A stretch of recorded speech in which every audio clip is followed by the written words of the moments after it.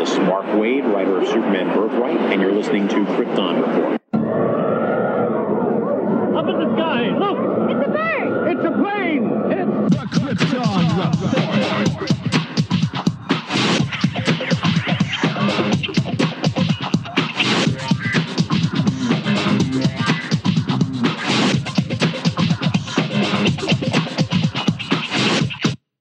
Welcome to the Krypton Report podcast, presented by the Southgate Media Group. the All Things Kryptonian podcast, including Superman and Supergirl. We discuss games, movies, cartoons, TV shows, and comics. Krypton Report Pod can be found on Facebook, Twitter, Skype, YouTube, and Instagram. And if you want to drop us a line, send it to kryptonreportpod at gmail.com. We are on Patreon under Southgate Media Group. And our official merch page is teepublic.com. Search Krypton Report. Now on with the show.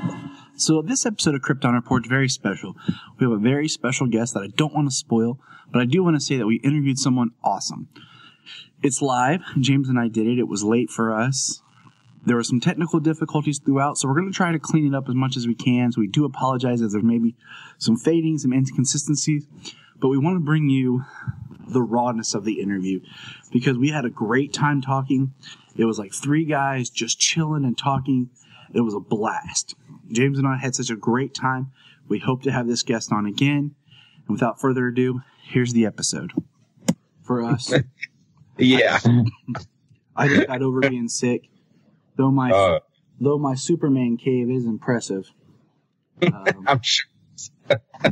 uh, yeah, His fortress. uh, yeah. Cool, just- man. And I mean, it's I one mean, thing fine. though, Yeah. the kids are asleep, so I don't have to worry too much. Usually, Right, right. I hate doing video because that's when my son's like, "Daddy, Daddy, what you doing? Daddy."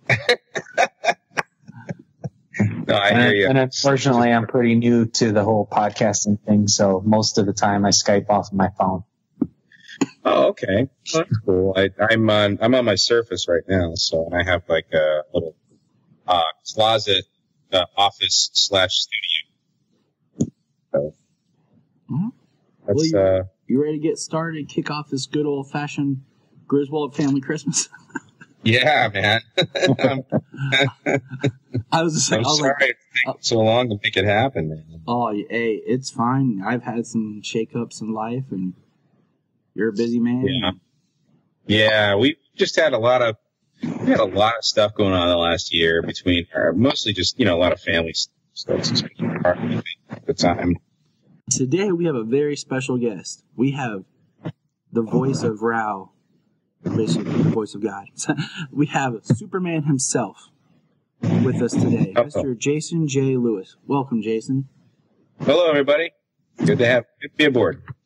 Jason is the current voice of Superman on the Justice League action cartoon series on Cartoon Network. And if you hadn't checked it, have you haven't checked it out, you should, because it's a blast. It's a good time. Solo and I watch it all the time. That's so cool. Love that. and that's your kid's name, Solo. His name his name is Solomon, and his Ah. name is, is Solo, and it's short. And he he refers to himself in the third person, so it's pretty cool. He's like, "This is Solos."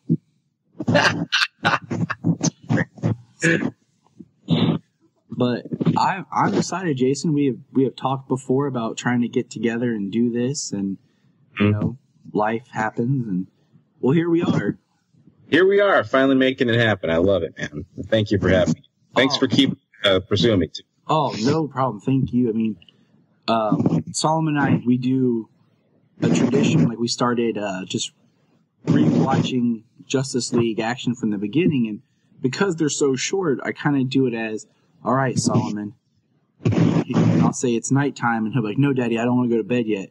I'll be like, all right, we'll do one Justice League and then bed. So that's kind of. That's kind of been our little thing at night is we'll watch an episode and then he knows, okay, I gotta go to bed now. That's that's perfect, man. That's what those episodes are great about. Play it. Yeah. Yeah, I mean, I was a little when they first announced the series and they talked about it being these short things. I was like, "Huh." I didn't really feel, but Yeah, I wonder what that noise is. yeah, I don't know. Hmm. Someone's beard scratching on the microphone there? Or? No, I, I'm, I'm pretty much clean shaven. I, I got Oh. My mic hangs low. Uh, yeah, okay.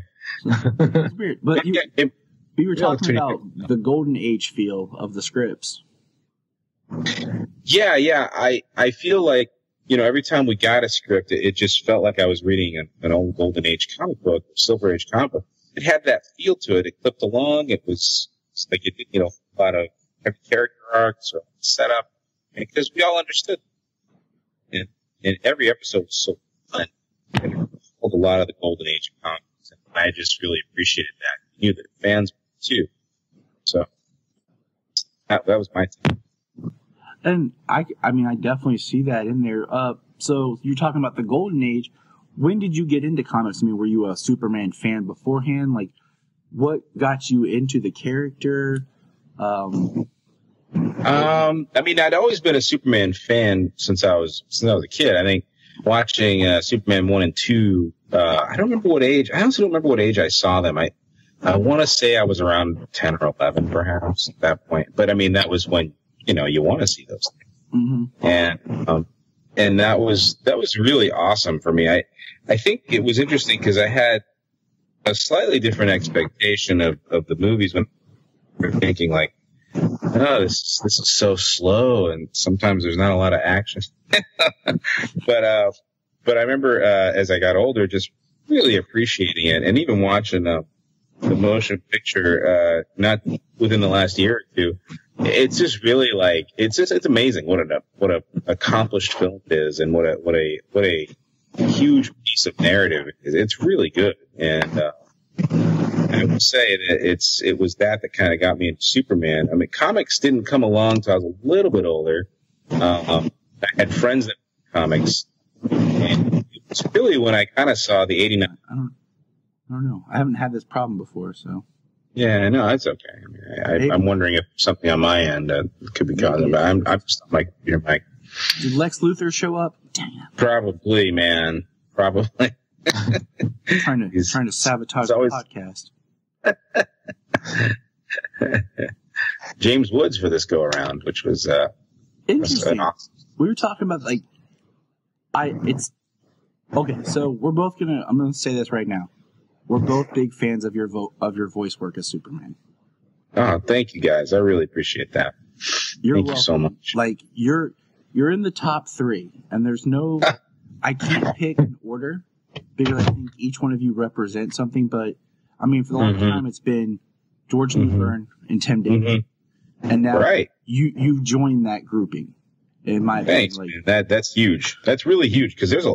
I didn't realize how many guys had voiced him until I kind of started doing the research. And you know, you've got different universes. You've got the animated series. You've got the the the, the original Justice League. You've got, uh, and then you got all the direct to video stuff.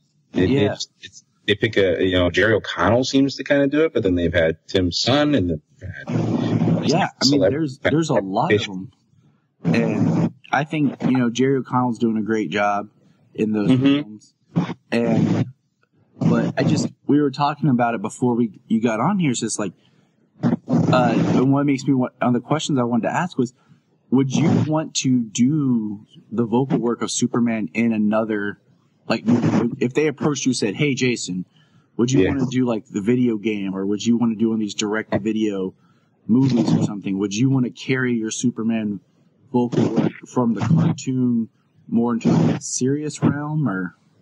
Well, in the great words of, of Winston Zeddemore, if there's a steady paycheck involved, I'll do anything you say. Excellent. Um, but He was yeah, my I mean, I favorite would be, Ghostbuster. I'm just throwing that out there. He got the shaft, but he was my favorite. He's like, I'll he believe did. anything. He, he gets kind of forgotten. Uh, but no, I, uh, I would, I'd be so eager to be a part of anything else in the DC family that they would invite me to.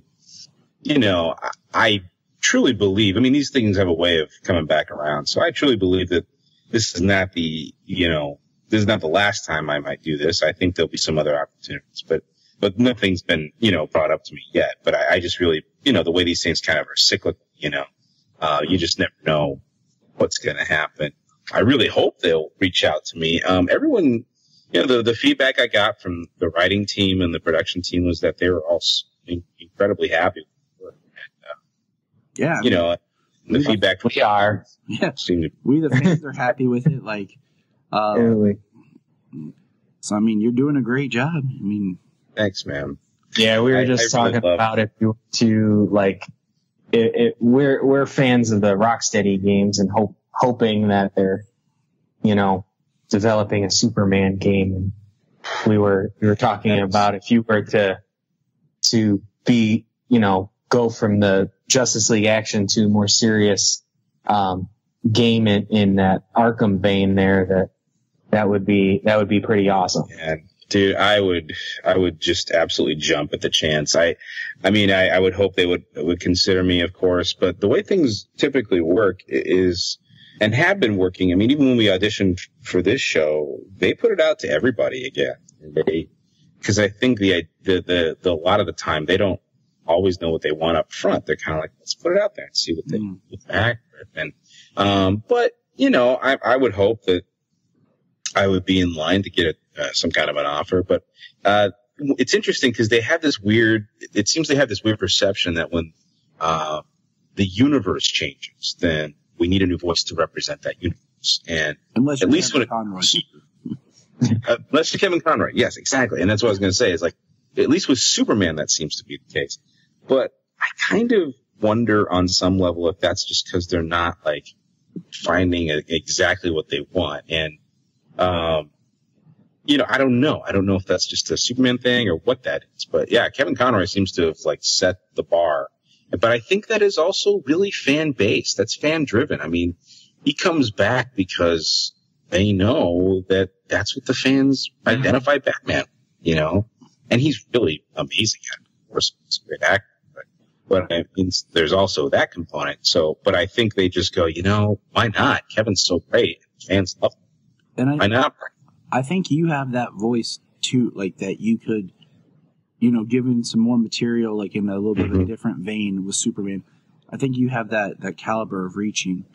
Um, Thanks, man. you're you're you're welcome. I'm just I'm just being upfront, man. I'm just being honest. Um, because I I hear there's with, with Superman there's there's like a, a, a levity in the character where there's a softness that even when he is angry, there's still this comfort in his voice, and I think uh, you don't want to come off sounding harsh as Superman, even No. when when you need to.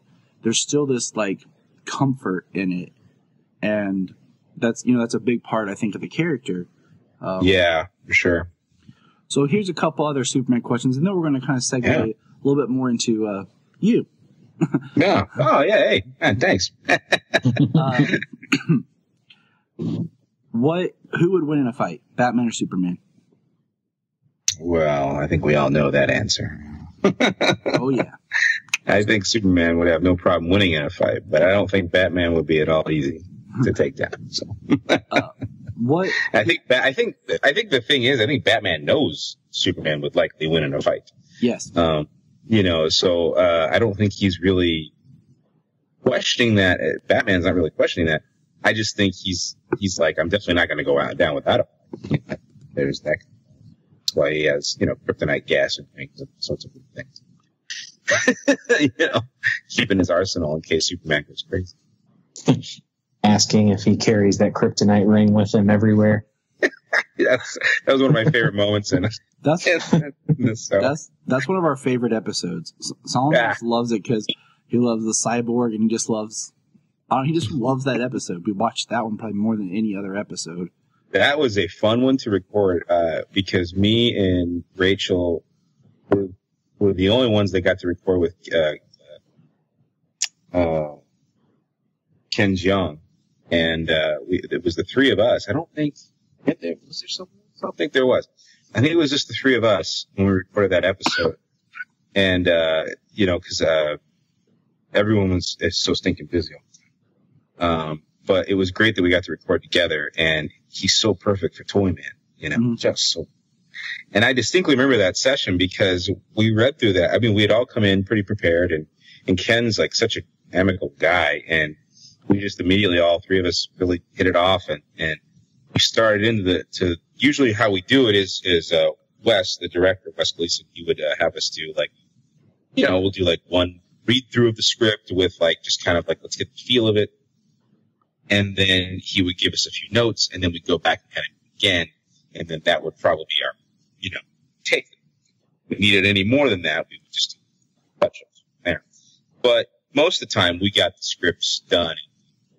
Those in that. In that but I remember, uh, you know, we we kind of blazed through that script. It was so much fun. And I want to say, I don't think we went back and did a second take. Wes was so happy with everything.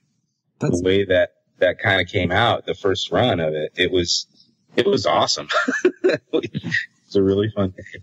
that's And uh, That's really cool. Because I was wondering, like, I was going to ask you how, you know, um, I'm not overly familiar with voice acting as far as how it's recorded, and I, I've Uh-huh. listened to people talk about how, you know, Batman the Animated Series did things where they had them all in the room together, like an old radio show, and mhm. I've seen Mhm. the documentary. Like, I know that voice, and you kind of get an idea Mm-hmm. of how recording is, and so I was going to ask you, like, how a lot of your sessions go, or is it you by yourself, or do you get to work with somebody?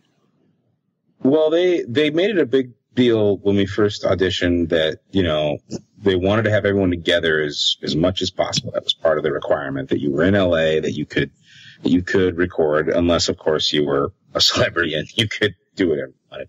Um, but I think they were really trying to go with a fresh cast at first. Um, and then they just kind of said, well, let's bring some names back into it because they really wanted the, the show. So, um, and, I and so can see that. we, yeah, and it, and it makes sense, you know, and, and so the, um, but that's one reason I think I had the opportunity here to, to kind of come into this is they really wanted to kind of have some fresh faces, fresh faces. And, uh, so that's why, and it was, I'm very fortunate that they, they kept me and Rachel. I, I love both of your voices. I mean, um, you both. It's weird how you can like with with these DC animated films. There's been different people do the Mhm. voices, and sometimes you watch one, you're like, ah, okay, like I see what you were trying, but I'm just I'm not.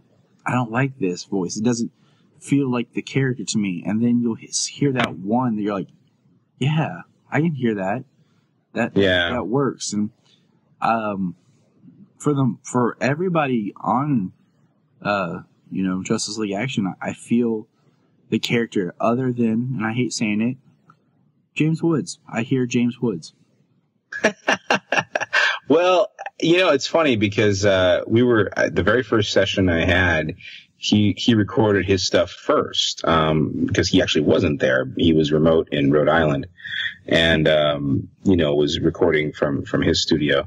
And uh, but we got to listen to it because we we asked. I said, "Can we listen just so we can like have some reference?" And they were kind. You know, Wes was like, "Absolutely, like please do." You know, like, get get get the feel of it. And I remember hearing it, thinking like, "Wow, that's gonna sound really maniac and awesome."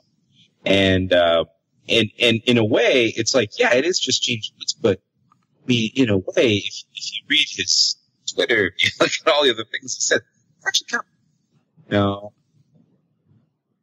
asking. And, and what was really fun to play as, uh, as the series kind of, so I never got to record with him, but, uh, one of the animation directors, uh, Jake Castorena, he, he would tell me when he would watch this stuff put together, he'd just be like, man, your Superman's like so pure and so great. He's just so high.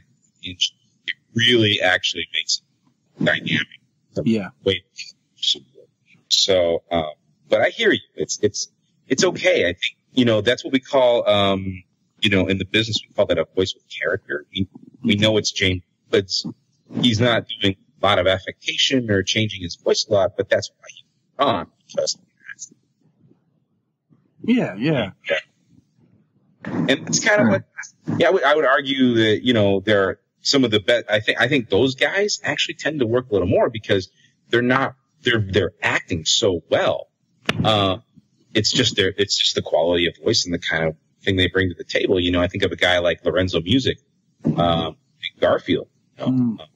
back in the day. And that, that guy was just, I mean, he was the same voice in almost everything he did, but it was his acting and the style that he brought to it that everyone wanted him for. And he, when he would do something else, you would immediately go, "Oh, that's that's Lorenzo, no question." Um, but we also knew that was Garfield, you know. so so I think that's that's just one of those things where you just know, hey, it's just the brand that they bring. to the table. And I can agree with that. I mean, I can see there's nothing wrong with that at all. Excuse me. Mm, I don't know, but that's just uh, that's one of the kind of aspects of voice acting that you know a lot of people don't really always see up front. We always think of voice acting as an actor being able to do these vocal acrobatics of doing all these different voices, but all of us agree, all the all of the actors, the voice actors agree that voice acting starts with acting. Apparently, if you could do all those other acrobatics, that's great. But if you have no acting foundation, you don't have really any wherewithal to understand making choices and what you're doing to the other character, even though you're not on stage or on a camera with them, you know, that's that's going to really put you at a disadvantage because, and you're not going to sound as genuine. So, um, that's, that's kind of what we talk about a lot in, in classes and things like that. It's, you know, voice acting is just that. It's acting first. You know, you can do the acrobatics. That's fun. It's great as long as it can still be backed up with great. Um, so with that, let's see here. I, I got some more questions about with voice acting. Mm-hmm. What what got you into being more of a voice actor? Um, I, you know, it's funny because my journey to, I, I was not like, when I was younger, it was never like a, I have to be a voice actor. It wasn't like anything that I was like, I, I was a burning desire when I was younger. But I will say that I always was doing impressions and would always be the guy at the party yucking it up and, and, you know, having fun people and, you know, and impersonating my friends and that. And it was, but I will say I gained a whole new appreciation for, for voice acting when I saw, and this was the film, remember, it was Who Framed Roger Rabbit. Um, and I saw that, and that was the last film with, with Mel Blanc, I think, and, uh, with some of the old school, the original school of voice acting. And that film blew my mind when I real, when it kind of really, I mean, I knew that, that Mel Blanc voice, but it really dawned on me, like, that's one doing like the Looney Tunes Yeah. and uh, you know, and, and the, these are the greats that were in that film. You know, um, what's in there? Just, uh, you know, the guy who brought Rabbit, uh, uh, Charles Fleischer. That was kind of one of his things, but he brought like such a character to that. That was the voice that I want, you know, and uh, that. And when I so I started. I'm trying to impersonate Roger Rabbit, and when I be, I went back and saw it like eight or nine times in the theater, I think Wow. um, because I was just in into the movie and also wanting to listen to really get the voice down. And uh, I finally did, and when I did, it was like what I think I had done was, un- unbeknownst, was train my look for those things. And I started a lot of impressions. I was, and my uh, my godfather, uh, uh, Donald, he always did this amazing Donald impression. And I remember as a kid, that like, I, that is, I, I do that. And it was, the re, it was him impression that caused people want to like do it, you know. Uh, so then, but I always, uh, I always wanted to be, you know, just an actor, whether it be on camera, or whatever. That was always my main trajectory was pursuing on camera and, you know, really to have a, I'm definitely a character. I'm not typical, but, uh, but I, I, that was a much hard, uh, harder for me and, uh, voice acting was, uh, coming naturally. I had a really great opportunity. I started at the Universal Studio, uh, here in LA. Uh, we, Hold on one second. Let's get. Are you guys hearing that? yeah, it's really weird. Yeah. James. Kind of choppy on my end. Yeah, like it just comes like it's, and then all of a sudden it goes away. Yeah, kind of in, out, in, out. God, There's like, it's weird. See, Order. that's perfect. Okay. So you were t- the school that you were going in LA. That's where you were when it got really bad. Oh, oh, yeah, yeah. So, um, so I'm, I was working at working at Universal Studios, um, in 2004, and I was uh, playing Donkey, and DreamWorks wanted to send us to uh, Dallas to promote the Shrek 2 DVD release with Walmart. And so they, the puppet that we were using in the park, they, they actually paid to send to this huge convention in Dallas for Walmart. And we began, so we were paid to entertain there for the week, you know. And, uh, it was a blast, but what we didn't know was that, you know, Jeffrey Katzenberg and all the big wigs of DreamWorks at that time were going to be there watching us. so, and so that was uh, a bit stunning. And, and so one morning uh, they came by with their whole entourage and, and Jeffrey heard me doing what I was doing and he was, he asked who I was and it wasn't a couple weeks later that they were calling Universal going, Hey, we'd like him to come in and read this. And, and it was such a whirlwind of a thing. It was truly a Hollywood story in the purest sense of the word. And it was just uh, an amazing I, I just I still can't believe it to this day that that, that was that having to come in to to read the scratch for uh, the scratch track for Shrek Three. And if you don't know what that is, um, that's the, the temporary track. It's usually like first draft. Mhm. So, um, and they'll usually play it alongside the uh, story just to kind of get the feel for the script, how it's played. Um, but they don't they don't typically begin the main actors to crowds. Uh, expensive, and they just you know they don't they don't need the main guys. They just need if they can get someone who can match the voice really well, it really. Uh, and so that was amazing. And then I, I, I took that gig to an agent, uh, my current, uh, West Stevens at Fox, and uh, they said, well, we'll, we'll take you on for a little bit. This is a pretty cool thing. And you- what you do. And, and, uh, if you book, we'll sign you. And like, pilot, it didn't go anywhere, but they were like, that's awesome. And, and uh, auditioning them since, uh, uh, 2000. So, That's really awesome. That's how it, you know, it started. And you, it's wild, man. Like I, I, I, I still look back on it and go, it's, it, you know, I, I, I, really look at it as just, you know, prov- providence and, God's will and all that stuff. You know, it just feels like very, you know, I, no matter, it's like that, uh, I wasn't pursuing voice acting hardcore and it kind of, you know, Mhm. regardless, uh, and that, that was a really cool thing and kind of like, hey, this is clearly in your path, you know. And, uh, but I will say that I have, I really love craft voice and I love, I love, I love acting in general, whether it's behind a mic, in front of a camera, or on stage. That's kind of my thing. Uh, I consider it any less or more doing one of the, you know. yeah. Um, have you uh, ever done any like on stage? Like, did you do stage plays in school, or do you do any professionally? Or Yeah, I did. I did a lot of theater in high school. I mean, like I was, you know, when I realized I couldn't really hit a baseball, uh, tragically, uh, I loved it. I uh, I decided to try.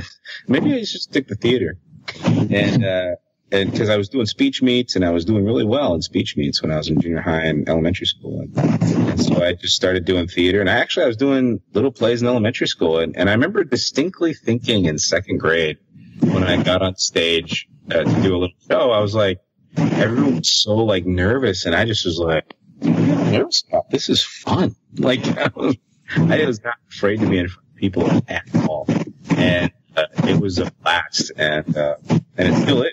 I still get juice about having an audience. that's Do stuff.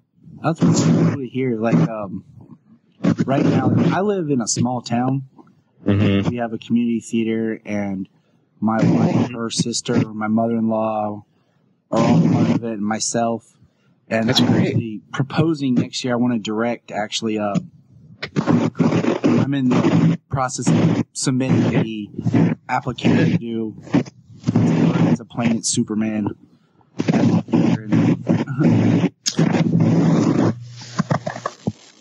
Oh, I'm really losing you guys. I'm sorry. Okay, we're back. I feel like we're getting. I feel like we're getting dragged through dirt. Are we in the Phantom Zone? Yeah, Phantom Zone. Yeah, we're in the Phantom Zone. Uh, no, but I'll say I submitted. I'm working on a submission to direct and Mhm. do "It's a Bird, It's a Plane, It's Superman" here in our local Oh theater. no way! The old Superman musical. Yeah, because That's great. I- Oh my I- gosh, that's so fun. because everyone knows I'm a big Superman fan, and like I've you know I've co-directed some plays and I've worked on stuff, and I just was like, you know, we need a a play that would be fun that would bring in some crowds, and they had a really rough year this year. The theater Yeah. did, so I'm hoping that'll go well. You know, over next year, we'll see. Um, Dude, I think that's so great, man. I want to encourage you. Uh, you know, first of all, great job for getting that show up because it's not mounted enough. You know. it's not, and I, d- I don't understand what today's like culture, like why that's not one that's seeked out. So, I'll be making the trip down if that happens. oh, I know you What's will. that? What's that? We Jason, we ironically just found each other, uh, James and Uh-huh. I, over the podcast. He was listening and to my earlier Krypton Report episodes, and we're just messaging on Facebook. And he lives in Akron, and I live right outside Columbus, Ohio. Oh, So wow, yeah, small world. that's great. Toledo. Toledo, Oh, yeah. Ohio. That's what I meant. Yeah. Man, it's late. Ohio. Yep. Uh, no, that's Right great. here I was uh, my wife. created. What's that? Said right, right in Ohio where Superman was created. Yeah, no, I know. I think that's really cool. That's, I mean, and actually, I've wanted to go to Metropolis several times. Um, I've even emailed the the festival saying, "Hey guys, if you want me to come," they never got back to us. I'll uh, I'll, I'll send out some messages. I know some peeps. Oh yeah, oh good. That, that's very cool. Be like, Jason's really cool. Bring him down. Uh, Well, you know, I I really wanted to go because it was the 80th anniversary of Superman this year, and I. I just thought, you know, it'd be really fun to, to be a part of that. And, you know, they were, they were very excited they got Dean Cain as well. They should be. So, um, you know, so I was like, I can't compete with, No, it's rough. It's rough. yeah, but, but I would like to participate in it because I think it's a really great thing. And, um, I, I love, I see your picture here even in front of the statue of Superman. And I think that's awesome. I, Yeah, that was my uh my birthday present. My wife surprised me. She said we're gonna go on a two day like road trip. Um, my mom's gonna watch Solomon, and she gave me all these like weird gifts. Like, and I didn't put them together as we were driving. She gave me uh the first one was a chocolate bird. Oh, that's so funny. So- it's a bird. It's a plane. Exactly. And then uh, our next like time we stopped for gas, she gave me an eraser that had the plane from planes on it. And she's driving, and it's at night, so like she's told me not That's to pay really attention. clever, man.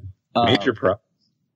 and the last one was uh, she got me a Superman ring, and then that's when I opened that. And I kind of realized where we were headed because we were real close um, to it. Mhm. Revealed it. So my wife's awesome.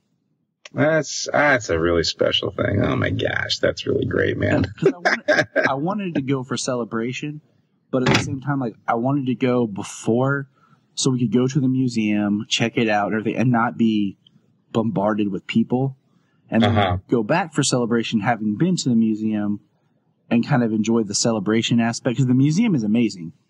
Yeah, that's great. I, I've not seen the museum at all. So. Oh, oh man! Like if you ever get a chance to, they had um they had George Reeves costume here Yeah. at Columbus for like ten bucks for a ticket. I thought about going to this museum just to see it. It was Yeah. five dollars to go in the Superman museum, and they have a costume from everybody except I don't. They didn't have Ralph, and they didn't have anything from Cavill at the time. But every Ah, other version of the character, there was some sort of like artifact and clothing from the series is. Okay. as well as props. I mean, it's I would pay twenty bucks to walk through that thing if I had to. Oh my gosh, that's really cool, man. That's uh, James. Have you been to that? No, um, it is on my to-do list, and uh, I'm probably gonna go to Metropolis next year. That's that's the goal. That's that's the goal we're shooting for. Um, try to get down there. Oh, hang, hang on one second, fellas. Hang on Yeah. one second, okay? Okay. Anyway, when he comes back, I'm gonna tell him that we're just gonna take a random road trip. Why not? Yeah. Uh, sorry, fellas. Oh, you're Oh, no problem. Yeah, no, me and Tyler were talking about just randomly one day, just hopping in a car and, and driving to Metropolis. Just, Yeah, man. just go. well, I uh, my wife is from um, she's from the Detroit area, so um, not terribly far. nice. Yeah. I've been trying And to get to Detroit. about 45 minutes. Yeah, I've been trying to get to Detroit for the past two years for the Comic Con there, but just it always falls at a weird time when I just can't get off work. When is the Comic Con there? It's Motor City. Motor City Comic. Oh, and what is when when is that usually going down? Um, I want to say in June. June I'd sounds. say that was only just a couple of months ago, I believe. Yeah, it's like yeah, it's like June. Oh, that'd be fun. I'd love to go to that. Gosh, that'd be that'd be a blast. So, I, I it's funny because I, I don't know there are these guys that show up at the Comic Con all the time, you know, and I'm like, how do you guys get invited to these things and meet people? I just that, it's a world that I'm not that tied into. I mean, I love going to Comic Cons, but I'm not like you know. I think I think maybe people would want to see me. I don't know, but like I would. I'd be like, hey, Jason. yeah, I know. I'd be like, let's come, come say hi. I'll sign a picture for you. It'd be fun. Um, but I, I did do a really small one last year in North Carolina, and that was actually a blast. What which part of North Carolina? Oh gosh, uh, Cape Carteret. You know that is, there. uh, You know that if you look it up, there's actually a Bat Cave, North Carolina. no, I did not know that. Yes. my my wife and I lived in North Carolina for a year, one of the best years of No. our life. And we were just like looking up stuff and we found it and we wanted to drive down there one day, but we just we never got around to it. what part of North Carolina were you in? Uh King, right outside Winston Salem. Oh, okay, okay, I got you. My my folks are actually living out there too. They live in Clayton, which is not far from Raleigh. Okay. And It's it's Yeah. it's a nice state to live in. Like I really uh Mhm. enjoy living there and I always like to live near a city but in a small town outside a city. Right. It's the Smallville in me. That's okay. I, I hear you on that one. I, I've grown up in the LA area, so I don't really, and small does not really fit into my equation too well.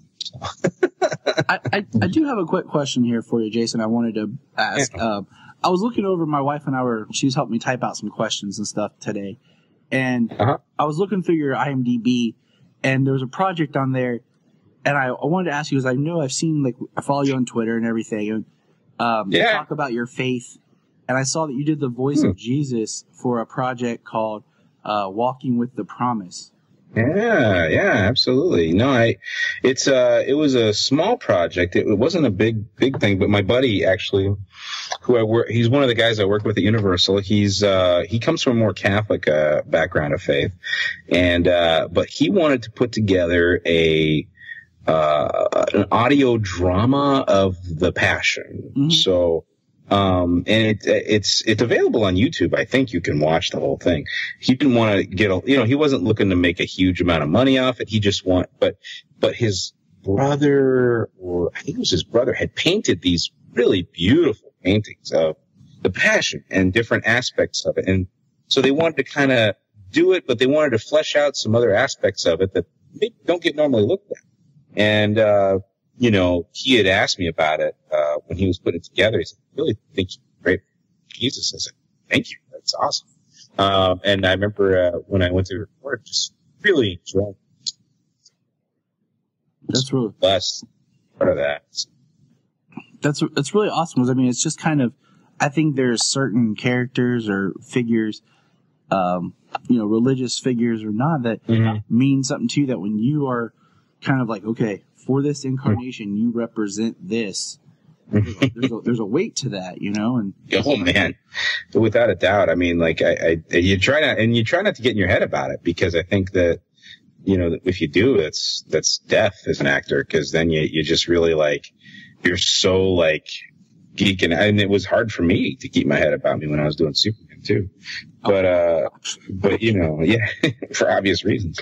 Uh, but even as Jesus, you, it, it's like your, your goal is you still got to make these people real and attainable and, and make these characters and voices live in a, in a real way. So if you're not in a good space with your fandom, then it's not going to work, you know? So, I mean, the thing is, where do you go from here, though? I mean, Jesus and Superman. There's not really. you know, it's I'm laughing because uh, Butch Lukic, the uh, the producer on JLA, you know, he he's such a he's such a funny guy. He's he's, uh, he's been at a, he's only come to a few comic cons, but he's done he's been involved with the DC animation since the Batman series. But he said the same thing. So where do you go now? You can Superman. What are you gonna- and I I said, don't say that. I hope there's more left in my right. Yeah. So it's like two of the biggest roles there is. Yeah, well, you know, I mean, that's true. That's true. I, I, I think it, it- only going up from here is going to look really interesting. So, Speaking of Right. uh, more, is there going to be a, a a Justice League Action season two? Like, are there is there more to come? I hope so. I, uh, I haven't heard anything official. Um, I It, it's so weird how they do cartoons and you know, um, because you know, like I was at McDonald's and they they have a resurgence of Happy Meals of Justice League Action, and I was like, Yes. I was like, cool. It's like my kids have been like, let's go to McDonald's, Daddy. Only one can I- talk, but you know, Yeah, I was so thrilled to see that. And I think it's probably just because it, it just got on Hulu. So they're probably doing some other, you know, tie in and stuff, you know. Um, and I'm hoping like that gains you know more traction because you know in old cartoons like they would do like a 13 episodes and then mhm. season two would be like 40. yeah. Well, when I it was, I, I get the impression, uh, you know, without saying too much, because I don't, I don't want to speak into the, you know, I, I don't know. There's so many moving parts to anything when you're an actor, um, and you're usually the last one to know, uh, which is the sad part. Um, but I get, you know, I get the impression that the the production workflow of this was was very different for everybody involved. Um, that was kind of the the feeling I got from everybody and uh, they were very excited about it. But I think they were just going about it in a very different way than typically they had. Um, so I think it all made them a little bit like, well, I don't know what's going to happen because they just didn't know. And um, there is a lot of, I guess, there's a lot of political stuff between Cartoon Network and Warner Brothers, and I, I didn't know all that. Uh, but I think that has a lot to do with why the show. Yeah. kind I mean, not- especially with the new. Well, what are your thoughts on the new streaming service? Just real quick, like I'm I'm excited about it. I was hoping that would mean that they would might as well bring us back for you know another season on there. I, but I I think that um and I don't know this for sure, but this is just me. I think there's some kind of contractual thing with Cartoon Network that I- they have to like do. I think they have a right of first refusal or something to that effect.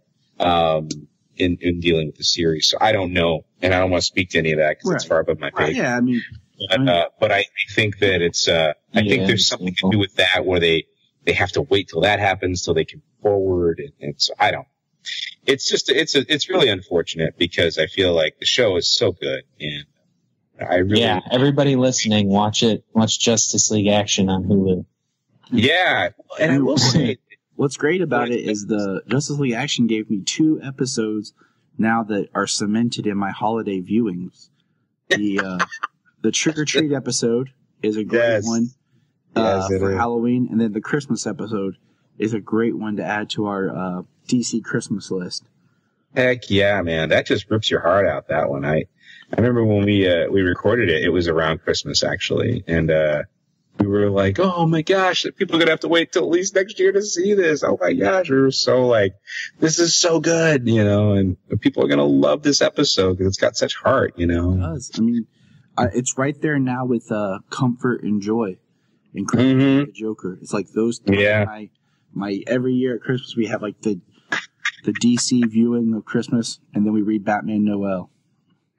Oh my gosh. I love it. That's so fun, you guys. Uh, that's, that's great. I love hearing stuff like that. That's really cool. I, I, uh, try to do stuff with my kids. Like, um, for sure, man. now you have how many kids do you have? We have uh, two. Um, I have a five-year-old and an almost two-year-old. He'll be two in October. Hey, Uh, I have a three and a one. So oh my gosh, yeah. So you, it's not that different actually. It's pretty same age difference, and uh, yeah, you're you're gonna find that that's a really good age difference. I've got nine and an eight year old. Oh yeah, uh, she looks like a cutie. I see her in your picture there. Uh, that's really sweet, man.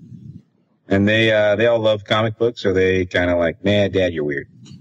I was I wanted to ask like what what do you what do your kids think that you do like when daddy goes to work? Do they know that you're Superman? It's it's it's interesting because I my five year old is starting to kind of I mean, well, I will say when she was three, it really kind of she started to kind of wrap her head around it because the show came out when she was about three, and you know we had a big party and and uh, she she kind of she came with us to Comic Con, you know, and and saw me up on the panel, and so so it was kind of beginning to be cognizant with her that that was you know happening, and I think my my son hadn't been born yet. Um, had he? I don't think he had he been born yet. I don't think he was born yet.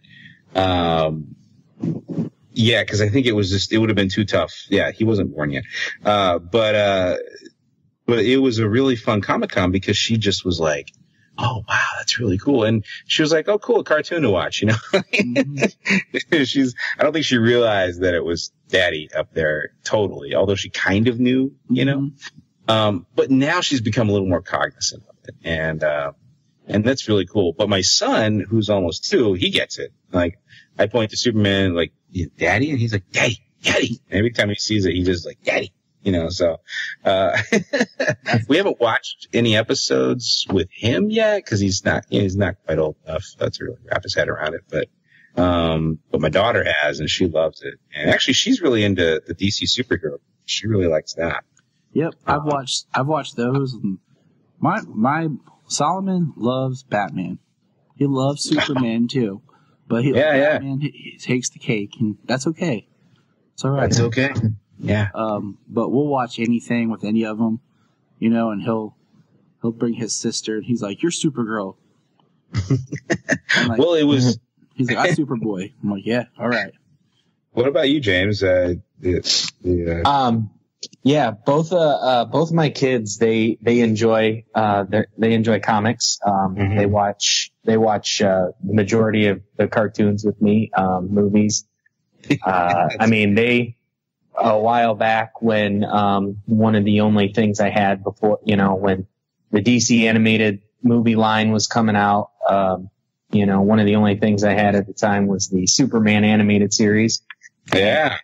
they watch i mean they watch that with me over and over again Nice. my daughter has uh, a couple of super uh, dc superhero girl movies um, she's got some of the toys uh, she Mhm. loves toys so she's got some super uh, some superhero dolls Yeah. and um, um, my son loves video games so um, you know he plays he he loves playing injustice He's- Oh, cool. Doing Sonic right now, but um, he always goes back to Injustice. and uh, Great. um, well, we went. And he he picked out a Superman shirt for school this year, so that was awesome. Nice. And but uh, yeah, they're both into superheroes. Um, for their reading homework and stuff, they actually prefer to read comics as opposed to books. Good. That's okay.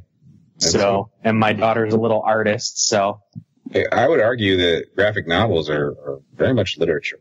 You Yeah. know, I would. I think there's a case to be made for that, especially when you read stuff like Watchmen. You're like, that's that's literature, man. That's Yes. not yes. comic books. That's literature, and that's that's a whole other level of, of writing Well, even history. So Yeah, well, even when it comes to you know comic books, I mean, even if she's reading My Little Pony, which you know she she reads My Little Pony comic books, um, you know she there there's a lot of um, imagination that comes into play with you know putting putting the art together with the story, mhm. um, you know, and and watching it play out in your head from panel to panel as opposed to just filling in those Wow. panel gaps. Like, Right, yeah, and I- line creates I've started- movie. go ahead. Sorry. No, no. I was like, your your mind creates the movie as you look at panel to panel. Totally. I think that's my daughter is, uh, I got her some of the DC superheroes comic books too. And, um, she loves reading them. Like, I mean, for a while there, it was all we'd read at bedtime, you know. Uh, and it was to the point last year where actually she was Poison Ivy. So- Nice. Great. which I was like, I don't know what that says here, but I, okay, I'm not, I'm not going to read I got much. I got one for you. Being that you're Superman and all, my son's been on a big kick where his favorite character is Doomsday. Oh no way! Wow. Like Well, um, he's like he wants to play Injustice One, so he can be Doomsday. He always wa- he wa- he calls it the Doomsday game. Uh, Oh, I found like one of those you can read kid books like Volume Two, where it's Yeah. Superman fighting Doomsday. Um, that's cool. and then the kicker was we were at the Target, and Uh-huh. we found one of those Imaginext toy sets that was Superman and Doomsday. Oh, And I, was like, I was like, man, I gotta buy this. I was like, he was like Doomsday, so now he's like obsessed with Target. He's like, let's go back to Target, Daddy.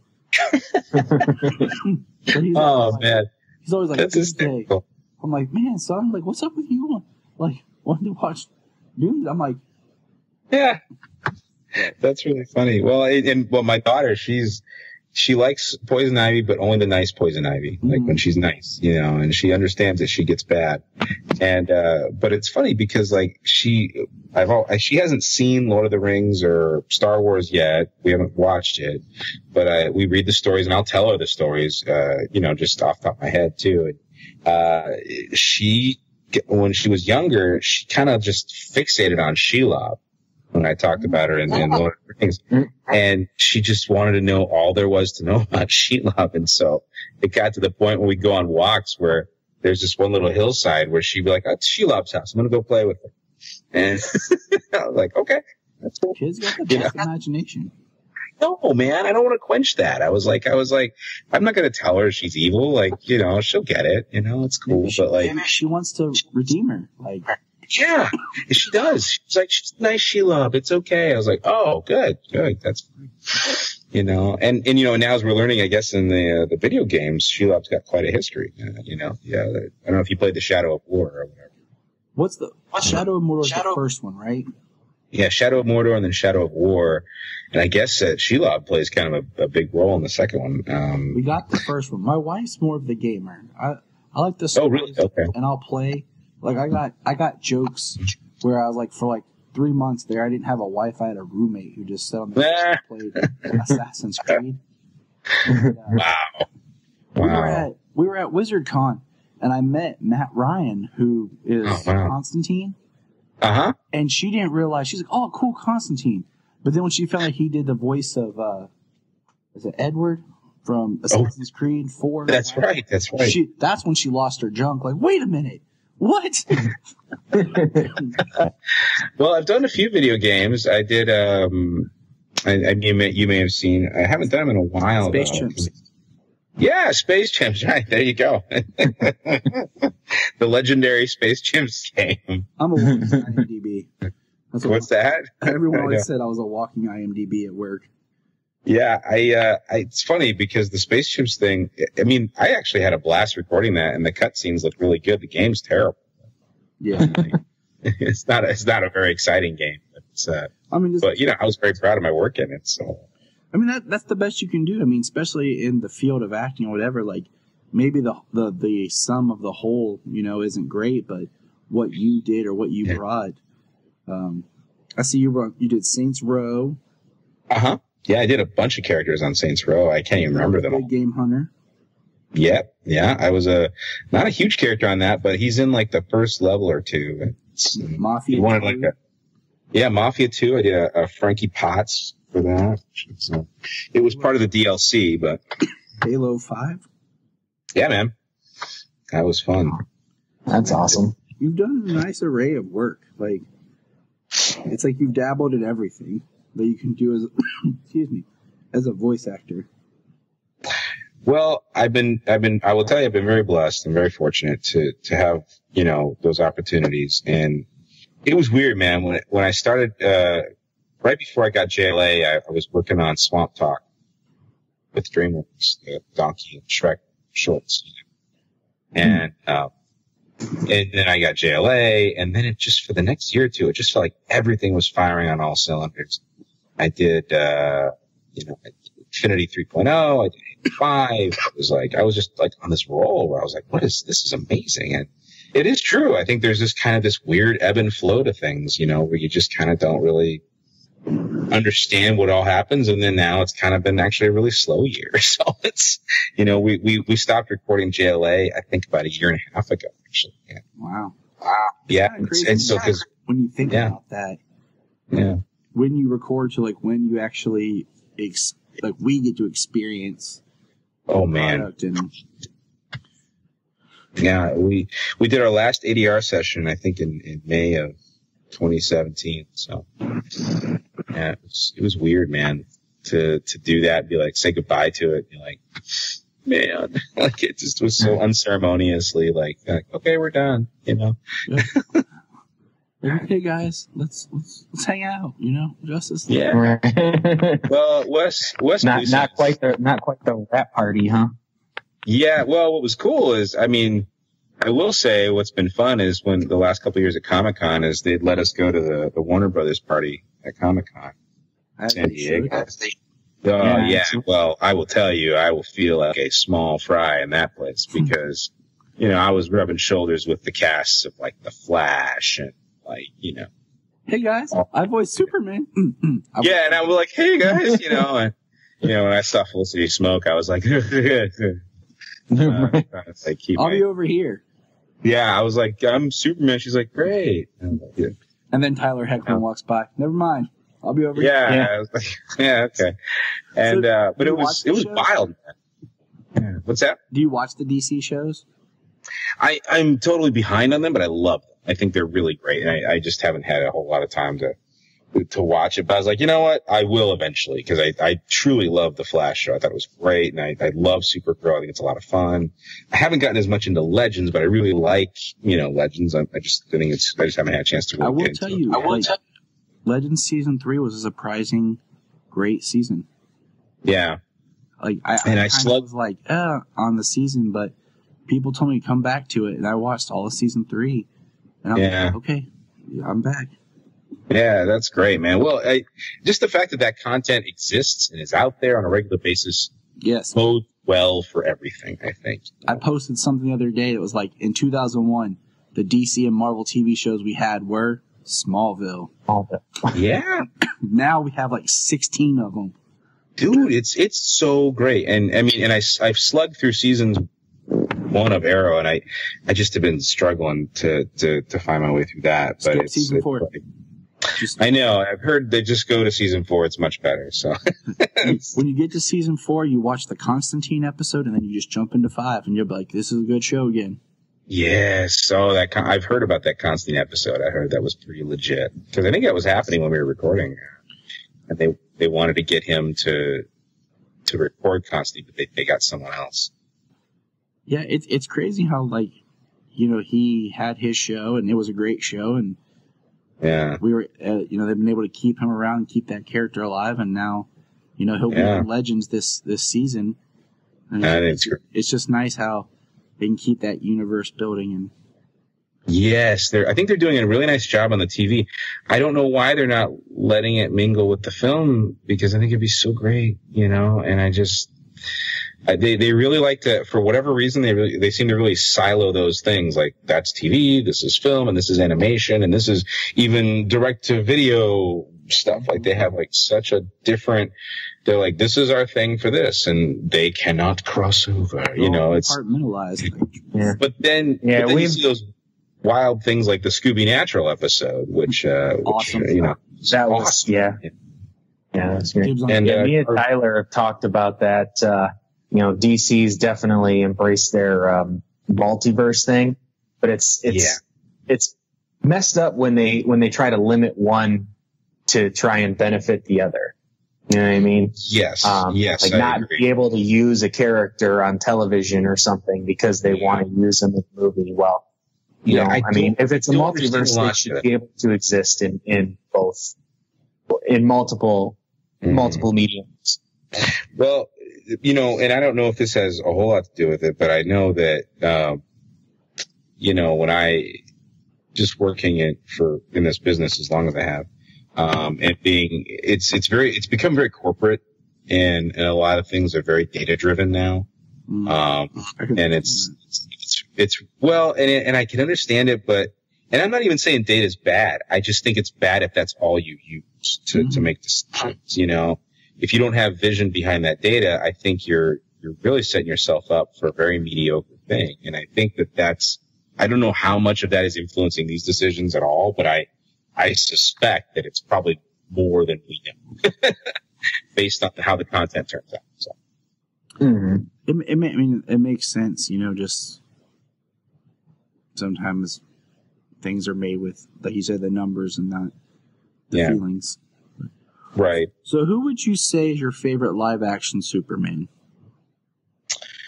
You know, I mean, I, I will say it's always been Reeve, and I don't think that's going to change. Um, you know, Christopher Reeve, I should say. Yes. um, but uh, but uh, I, I really, I, I, I've enjoyed Cavill's work. You know, um, I think, I think even he sees the frustration. I mean, I, I feel like he wants to do more with the character than the universe is really letting him do. Um, you know, it's almost like I kind of see that frustration Mhm. as an actor, but you know, he, uh, he is bringing a lot of sincerity and, and um, some really nice moments with him, especially in, I think, uh, you know, uh, Batman, Superman, and uh, and Justice League. A lot of people hated those movies, but I, I didn't.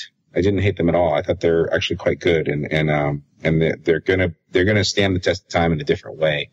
I think we're Hey, gonna look we- back and go, you know, those We're with, probably actually We're with you on that. Yeah. yeah. I, I mean, you know, we, we've talked here before. It's like, I think every Superman kind of has its own, like, point in my life, but, like, I really identify with Tom Welling on Smallville because, Mm, you know, that For sure. hit when I was in high school. Yeah, man, I, I totally get through- that. I went through high school and kind of grew up. I mean, that Mhm. show started when I was in high school. It ended after I graduated college and had just gotten married. Dude, that's I, I totally get why that would work. I mean, and that was a great show, man. That was a really good show. Um, I enjoy. It really got great in the later seasons. They started kind of expand the universe. I feel like well, I've, I've talked about with a good friend of mine who does a Smallville podcast. Like the first four episodes is like one, like if you wanted to break it down, like one group of a movie, Yeah, and for then sure. like five, six, and seven is like this other middle chapter, and then eight, nine, and ten is like your final third. Like if you looked at it as like a trilogy style, for that's sure, that's where you get your like kind of groupings of story and like the for feel. sure. And I think probably, you know, you probably saw some showrunner change hands and things like that. And you know, I mean, yeah, that's. But I think it's really, it's it was a it was a really, I mean, it was really fun to have that show on. But you're right, it's just now it's so saturated uh, with uh, with all that stuff. It's it's a whole different world. You know, that show couldn't exist probably. You know, that's that's what's so interesting. Oh, it, it would probably be torn down the way the Mhm. way things are today. I mean, Yep. there's so much out there, and yet people are Complaining. complaining about it more than ever. Yeah, and I think that I don't know what that. It, it's an interesting thing you say because I, I agree. It's really like a, it's a bizarre dichotomy. Um, yeah, yeah. you know, it, it's and I think it's it's indicative of a bit of fandom in some ways. You know, it's like, you know, it's like now that we've got the internet kind of on blast all the time, all the dark places of the internet that were always that way, they're on blast now. So it's kind of like you know and the, and the the public at large is just starting to kind of get the impression, oh, okay, people have a lot of opinions about this. so, Yep. yeah, and so they got to be I- quite harsh yeah, quite harsh with their opinions. I always kind of go back to what I tell Solomon when he wants to dress up as Spider Man. I'm like, Yeah. I'm like, listen, son. In my day, if I wanted to be Spider Man, I had a red ski mask and I used my imagination. Yeah. I'm like, you just Slap walk my into hands Walmart. against the wall. I'm like, you walk into Walmart, you can pick up a Spider Man costume or a really nice mask. Yeah, Just be happy with what you have. seriously, no, that's a really good point. I mean, it's it's that's so true, man. And for me, when I was growing up, uh, you know, we didn't have it was we didn't have quite the hero saturation we had now. We still had to go to the comics for that. Um, you know, but having the Superman movies, having Indiana Jones and, and Ghostbusters and all those things, I mean, it was still the same thing. You just, you, you just had different heroes, you know? Mhm. So, but I don't know. What are some of the things you guys want to know? I want to ask. I thought we could talk forever, and I don't want to take up too much of your time. No, I know. Me too. Yeah. I do. I do want to ask you. Um, what's is there a project or something that you would like? Will be kind of like your. Um, I'm getting tired. I can't think straight. Um, like a project that you would want to do that is just kind of like your uh, personal Passion. project, passion. Yeah, passion project. Oh. Like either live action acting or voice work. Is there something that you would like to do that you would just that's always kind of been there for you? Ah, it's a really interesting question. Let me think about that. Um, hold on. No, you're fine. because because I feel like yeah. Um wow. That's a, you know there is actually. I, I will say there is now that I'm thinking about it there uh, was a series of books that I read as a teenager that I would personally love to see turned into like now that we have stuff like Game of Thrones. I mean at the time you know I saw them as movies but now we have th- things like Game of Thrones where you can just dig into all that lore and create a series out. But I would love to see uh, a series of books called well, several several series of books. One called The Dragon Cycle, um, by uh, Stephen Lawhead. I actually would love to be a part of that, uh, you know, to reality because it was uh, the, the Arthurian legend legends rewritten uh, with a lot of history underneath them, not just fantasy. And so it kind of became this bizarre historical fiction. Um, and the guy wrote it had kind of a Catholic, uh, Christian background. So he kind of added this really neat, uh, spirituality to it that, that just what made it really come to life. Okay. Um, and he even kind of blended in the legends of Atlantis. That's cool. It's, it's great. If you ever get a chance to read it, it's called The Dragon Cycle. There's five books. There's Taliesin, uh, Merlin, Arthur, and Dragon, and Grail. What's the author's name? Uh, Stephen Lawhead. Okay. Yeah, and he he's written quite a few series. Um, I'm in the midst of his l- latest one, and by latest I mean in the last you know five six years. Uh, it's and it's a retelling of the Robin Hood uh, kind of legends. Uh, so he likes to kind of do those things where he takes those things and spins on their head a little bit. Um, I think he wrote another.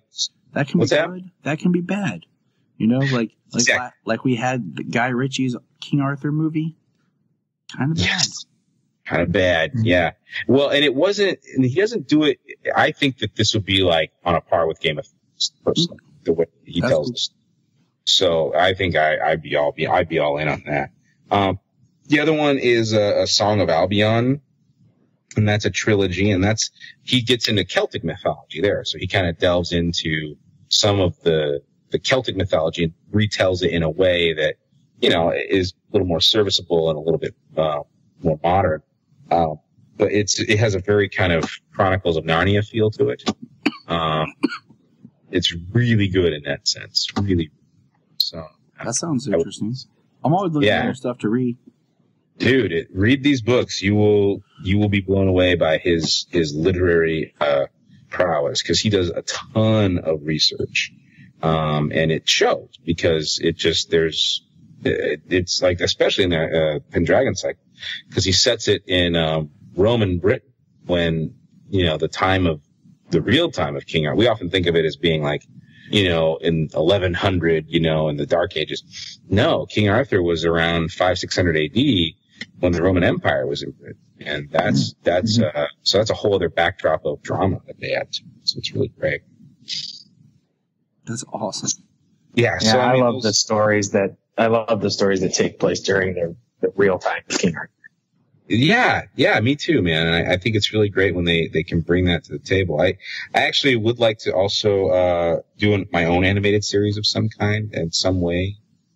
How or why or what that would look like. But I would like to, you know, use my talents as a voice actor to kind of bring my own content alive. So, The Adventures of Yeah. Tristan and Friends. yeah.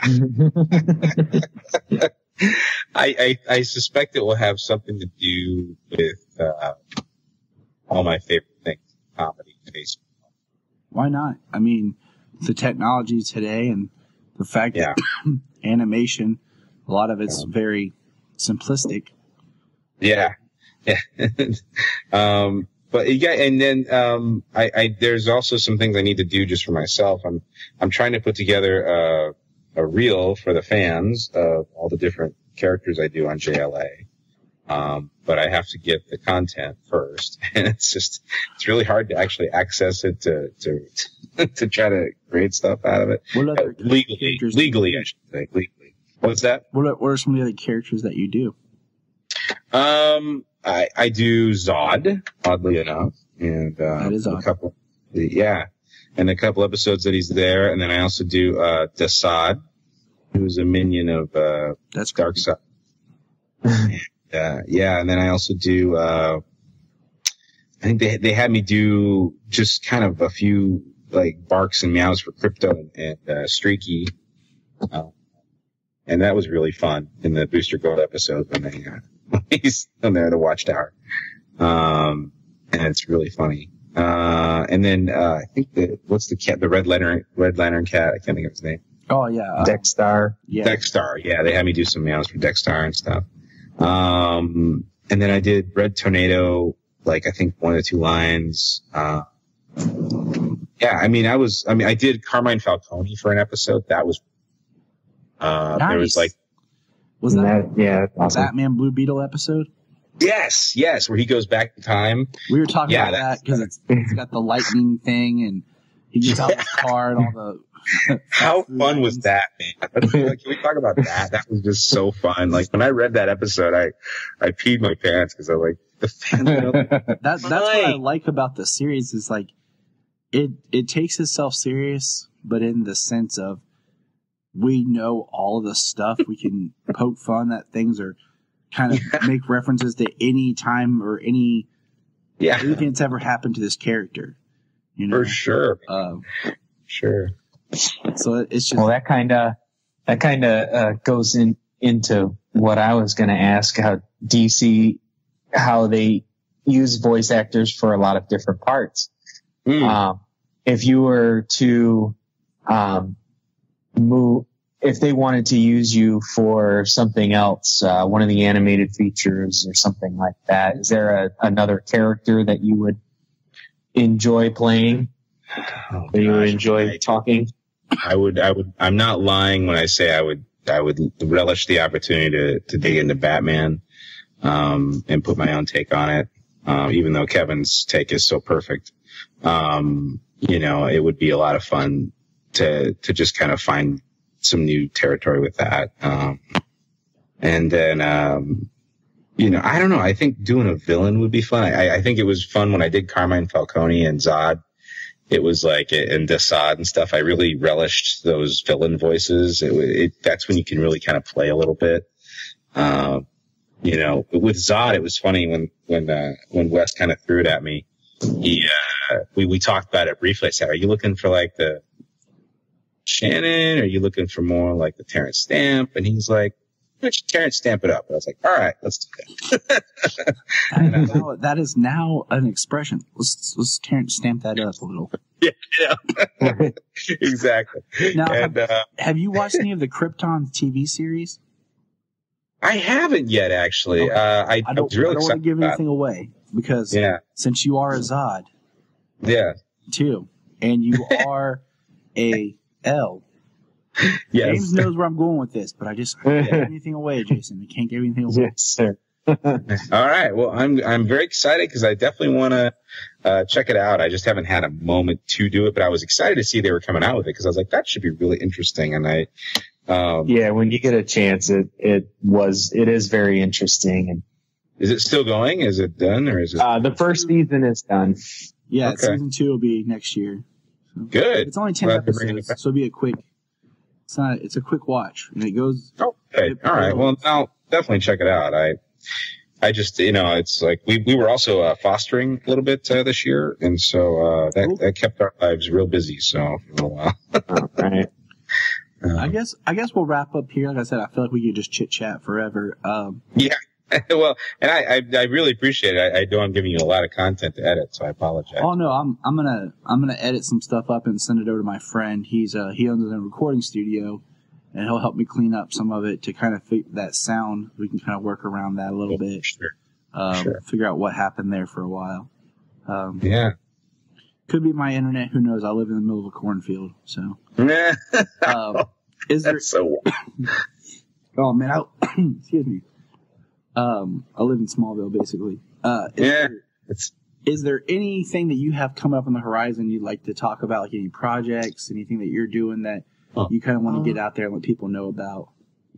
That's a thank you, and I appreciate you asking that. I um, there is a uh, there's a film that I've been shooting bits and pieces of over the over this year, uh, on camera film, um, and I'm really trying to get back into the on camera game. Um, and and so I've been trying to like just you know lose weight and get in better shape and just really get back into that you know, fighting stance, so to speak, the fighting weight, and just really, because I really feel like I have a lot to offer in that way, and I, and when I do it, I just so enjoy it. Mm-hmm. It's just such a, it's such a blast uh, being a part of that process, and uh, a lot of people don't. It's, it is a hard process as an actor. People think, oh, movie stars are great, but when, and it is. If you're doing the multi-million dollar films, they're they're amazing, and they'll take great care of you. But when you're doing indie film, it's hard work, you know, and you know, you're oftentimes moving set pieces with people, and you know, you're not just acting. You're you're really a part of the whole production, you know, and that's fine. I dig that. I think that's actually really fun for me. Um, but uh, there's a it's a, called The Burden of the Shepherd, um, and I'm playing a, a really dirty cop in this one, so it's another villain character uh, that I get to mess around with, and uh, I'm really excited about it because uh, we we haven't quite finished shooting my scenes because we've been shooting this on a very long schedule, just because everyone has uh, a lot of other things going on and their budget's very well. Now we have money, let's shoot some more. So.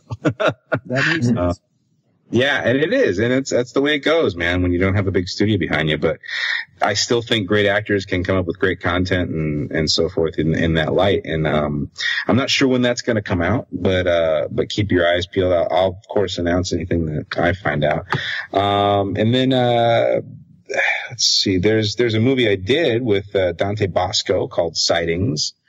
Um, and that's, uh, that's out right now. It's on iTunes. It's a, it's a, it's a Bigfoot thriller and I play, uh, a really kind of dopey small town Texas sheriff who gets involved in this, uh, Bigfoot, uh, mystery kind of a thing. So, uh, I'm in.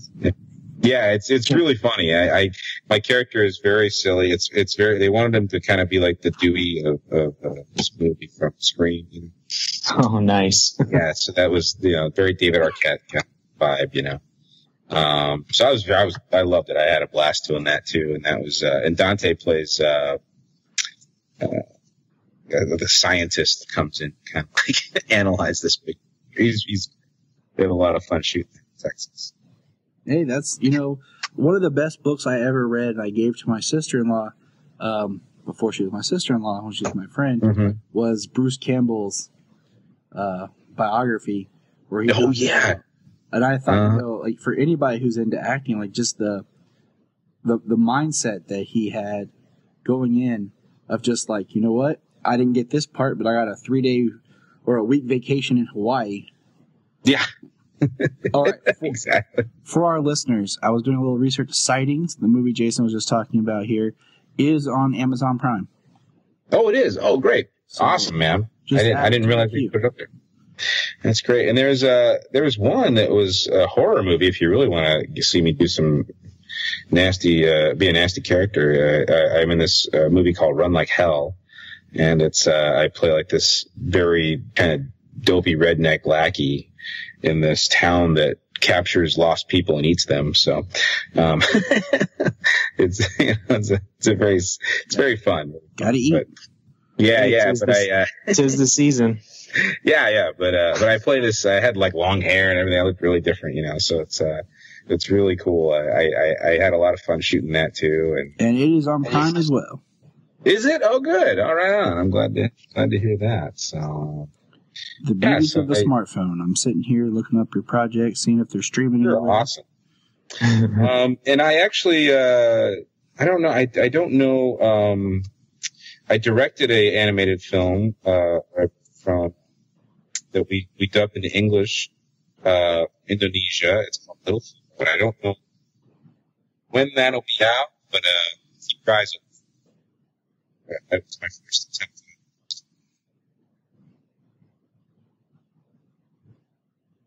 But I- I'm not sure when that's coming uh, but it is. And, and what was the name of that again? it's called Little Hero. Little Hero. Pulling that Yeah. up right now. It says coming soon. Yeah. Add to watch. It's on my it's on the IMDb. I know that uh, they there, so it's um, and uh, it was really fun to to be in the director's chair for that. So that that was a whole different ball game. But I will say that I learned so much from that experience. Well, So, I will definitely watch it when I can.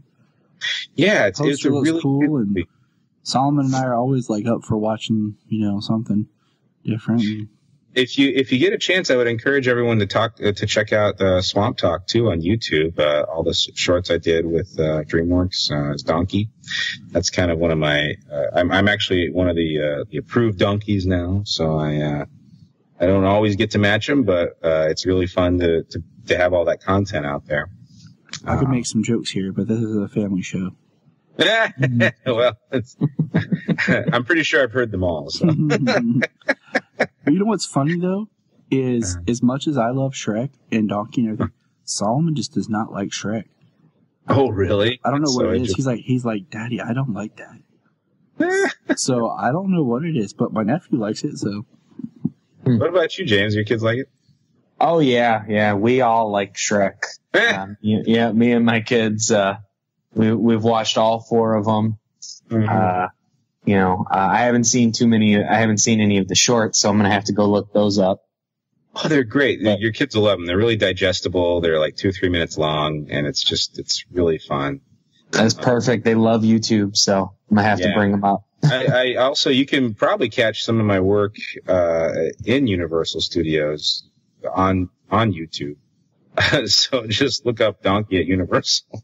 you'll, you'll probably, you'll probably find me. Um, all right. And uh, yeah, I'm also doing Transformers there at Universal Studios. So I'm always there. Um, they they have talking Transformer characters and stuff. found it. So, There it is. You found it. Hey, all right. yep, I got uh, I'm gonna show Solomon in the morning. Like, hey, That's this buddy. some that. The uh, yeah, we have talking Transformers too at uh, Universal Studios, which is Now that he'll like.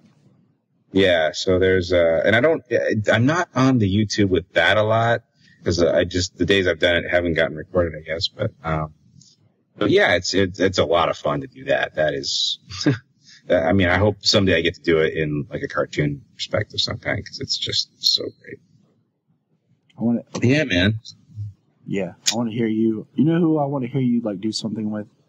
My- What's that? What, you were talking about earlier. I was going to mention you talking about voice actors and the acting part, even though it's the same voice. Mhm. I, I've always like really liked Will Friedle when he did Terry McGinnis on Batman Beyond, and then Yes. uh, you know he did Lion-O in the Thundercat reboot, which I thought was really Mhm. really good. And then Solomon, he likes to watch the Transformers, where he Uh-huh. does Bumblebee, and it's like man, like he always brings a really good voice presence, you know.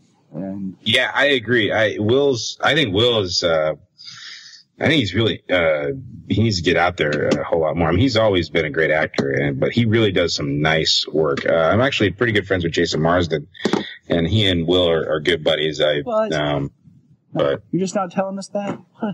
yeah, uh, yeah. Now Jay. But Jay lives in uh, in Tennessee now, so I don't get to really see him too much.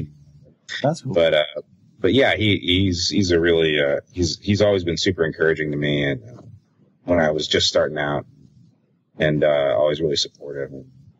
Now, are you guys uh, are you guys ever in California? Have you ever been out there? Uh, in I, LA? I hope to one day. I mean, I don't I don't like to talk too much about myself with people because I don't want to seem like hey, but I'm in film school. Like I have a my I do online film school.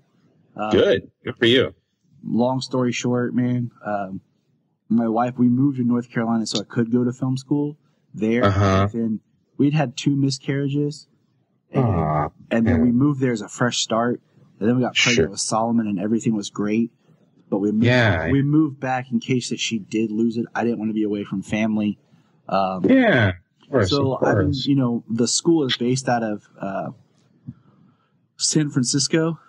Uh, Uh huh. So, you know, I hope the whenever I graduate or whatever to either get out that way or uh, maybe some of the East Coast places and stuff. So hmm we'll see. Dude, that's great, man. Well, let me know if you guys are ever in LA. You know, uh, I'd love to say hi and invite, you know, get you to the theme parks and all that stuff. Oh, that'd be amazing. I mean, Where Yeah. where do I, I certainly want to go. What was that? That's, that's always my thing. Like I get out there, like where do I go to eat? like I'm only here for a short time. What's the best place to eat? Oh, that I can help you with, my friend. I, hey, I, I've got some good I lift and I, I lift and I eat. Yeah. So I, I lift my children and I eat. Uh, my kids are, that. my kids are a little big for that now. Yeah, I guess when they get to that age, huh? It's like uh, Yeah, you don't, you don't, and and they still want you to go up, down, up, down, up, down. It's like you weigh like three times what you used to. Oh, I take Calm my, down. my daughter, yeah, she's yeah, my daughter's like almost forty pounds, and my son he's about twenty. So, you know, I you know if I can I can hold one of them at a time, but then it's when they want me to do two at a time that it starts to get a little bit tricky. Yes. I'll do something with Yeah. my daughter and I'll be flipping her and like everything. And then right there, Solomon, like, Daddy, my turn. I'm like, no, No. You're, you're, you're a little too big for this one trip. Oh, son." I know. my daughter's the same way. Yeah, Oh, it's- my when when I occasionally my kids will still want me to hold them for a few and sure. and then and then once in a while they'll both want me to do it. It's like, all right, this is like two hundred pounds, like like this. I can't do this for very long. I know. What's all that lifting for, James? Gains, baby, gains.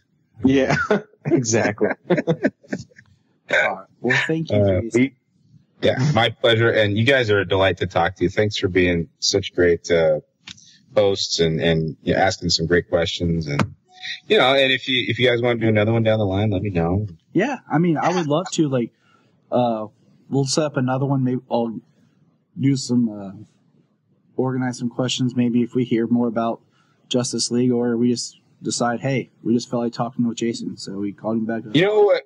No, and what we might try to do is uh, I I'll see if we can get anyone else from the show with me. That might be fun. Yeah, you know, I'll, I'll reach out and just see if anyone's interested in uh, being a part of it. Um, I'm, I'm still pretty good friends with Rachel and, uh, who's a woman and she and I got really close during the show and, and she just had a baby too. So, awesome. um, you know, she, well, Jason, yeah, we man. really appreciate talking with you and just Yeah. chit chat. You know, it's been great and laid back. And I keep forgetting, like Tyler, you're talking to Superman. You have his yeah, it's been a blast. you have his Yeah, action figure are right there. Like I'm looking at your figure right there. Yeah. So I'm, I'm looking at him too. It's really weird to think I have a toy. That's, that's what's really, So. But we do appreciate you being here chatting with us. Yeah. And Is there any social media you'd like to drop where people could find out more Oh, yeah. about you? Uh, please uh, follow me on Twitter. I'm more on Twitter than anything else. So at the the JLew, T H E J L A W at the JLew. And um, if you want to follow me on Instagram, it's uh, at the underscore JLew. So it's pretty much the same thing. Um, and uh, I also have a uh, a coaching and demo site called thevoicereactor.com. Uh, if you, if anyone from anywhere is interested in, in getting coached or, or taking some time to just have questions, you want to email me. I mean, I'll always answer email questions, but if you want to do a more formal coaching thing, um, I can do that via Skype. Um, and if you want to put the, put a demo together, um, you know, uh, you know, we can we can talk about that and stuff if you if you're interested in that kind of thing. But if you just really have questions about voice acting, I am of the mentality that hey, uh, I want to always be available to to mentor and, and be there for people that are, are interested in that. So don't hesitate to reach out. If I don't get back to you right away, it's not because I don't care. I just seriously have a lot going on. but but I will always. We've been Yeah. working on this for like over a year. I know. So so uh, I will, but I will always get back to you eventually, and I will always want to answer your questions. And um, don't don't ever feel like you're bothering me or anything like that. I just, you know. Uh, but the best way to, to to get at me usually is through Twitter. Um, so I, I always have a really good, uh, you know, I like to get back easy to respond. Uh, but yeah, please don't don't be afraid to reach out. well, like I said, thank you. I can't thank you enough for just Yeah. taking Thank you, thank you. to hang out with Got it, guys. to hang out with two guys in Ohio. yeah. Well, listen, man. If I ever get out to Cedar Point, we'll we'll do it. You know Oh, what I'm oh, yeah. saying? yeah, straight Oh, up. I love Cedar Point. Yeah, I've never been. I've always wanted to go, and I, I'm I, like, it's been Oh, yeah. too long. Coasters are Great. Yeah, great roller coasters at Cedar Point. yeah, man. I, I'm a huge coaster nerd, so I, I'm all about that. All Uh, all right, guys. Well, take care, man. Have a good one. You too. All right, you too. Good night. Look up in the sky. Look up in the sky. Look up in the sky. You can find us on Instagram, Twitter, Facebook at Krypton Report. You can also email us at kryptonreportpod at gmail.com. If you get a chance to go over to iTunes, please leave us a review to help us get better. If you're an Amazon shopper, just remember you can go to southgatemediagroup.com. There's a portal log into Amazon and you'll shop into your account just regular, but it also helps keep all the podcasts on and helps keep Southgate running. Remember, look up in the sky.